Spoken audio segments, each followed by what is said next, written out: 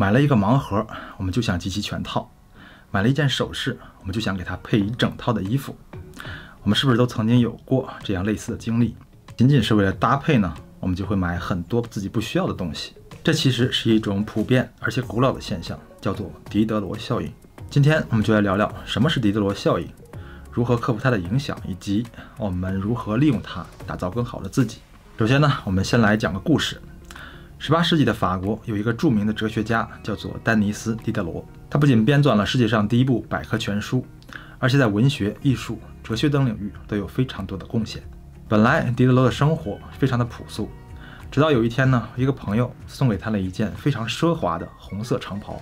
这个长袍的手感非常的柔软，质地非常的精良，图案非常的考究。他非常的喜欢，于是呢就扔掉了旧的长袍。每天穿的新长袍在书房里工作，但是呢，事情慢慢发生了变化。没过多久，狄德罗觉得自己的办公桌太破了，跟新长袍一点都不搭，于是呢，就去市场上买了一张新的桌子。买来之后，没过几天，他又发现了新的问题，就是墙上的壁画太丑了，跟办公桌也很不协调。于是呢，又去买了新的更昂贵的挂毯。慢慢的，他又发现椅子啦、书架啦、闹钟啦。这些东西都跟书房的整体风格越来越格格不入了，于是所有的旧物件也都慢慢的被他换成了新的更昂贵的家具。终于，狄德罗神气十足的站在自己的新书房里，打量全新的环境，感到十分的得意。但是这时候，银行发来了账单，狄德罗发现自己已经欠债累累了。这一切呢，都始于一件奢华的长袍。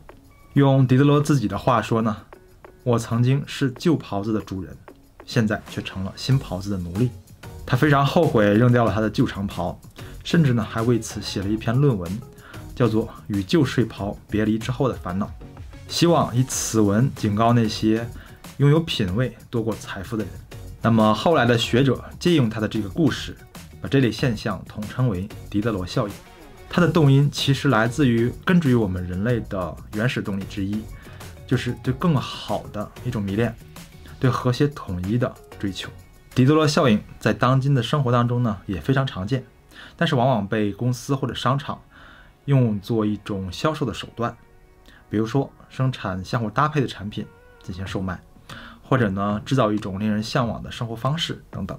现在的科技公司也运用娴熟，比如说苹果公司在设计产品的时候，为什么？很注重设备之间的功能联动，原因之一呢，就是向我们展示，你看多个设备在一起搭配使用效果更好啊，这样呢就能不断吸引我们购买它的产品和服务。我自己也经常会有这样的经历，比如说买了一双名牌的跑鞋，就会觉得运动服配不上它；买了一个新的沙发，就会觉得哎旧茶几配不上它；买了一个新电脑呢，就会觉得旧手机甚至有点配不上它。其实呢，大部分时候我们的消费都不是必须的。那么如何管理自己的行为呢？以下分享三个实用的小技巧。第一呢，就是保持简单。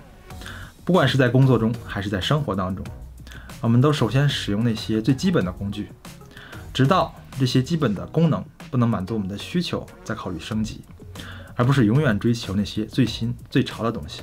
第二呢，就是制作愿望清单。这个是我从 GTD 里面领悟到的一个技巧。我们可以把想买的东西先写下来，写下之后，大脑呢就会倾向于认为这件事情已经完成了，这样可以很大的抑制我们冲动消费的倾向。第三呢，就是远离消费的信号。如今广告真的是无处不在啊，不管是通知、推送还是弹窗，甚至在朋友圈的信息流当中都会有广告。首先，我建议关闭那些购物类应用的通知。关闭广告的推送，或者呢，在工作和学习的时候打开手机或者电脑的免打扰功能，这样能够最大程度的减少我们被干扰和轰炸的时间。但是任何事情都是有两面性的，善恶都在一念之间。那么狄德罗效应有什么积极的意义吗？首先呢，不断的把美好的人和事物引入到我们的生活当中，能够让我们对于枯燥的环境充满期待。设想一下我们未来理想的生活方式，设想一下自己穿上那件华丽长袍的样子，让我们有动力开始改变，不断的追求和创造。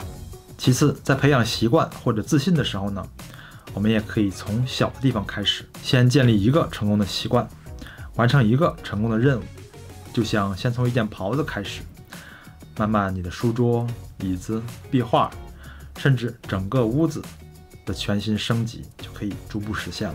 OK，希望你在生活当中也能够注意到迪德罗效应的存在，克服它的影响，并且利用它实现积极的改变。我们下个视频再见吧，拜拜。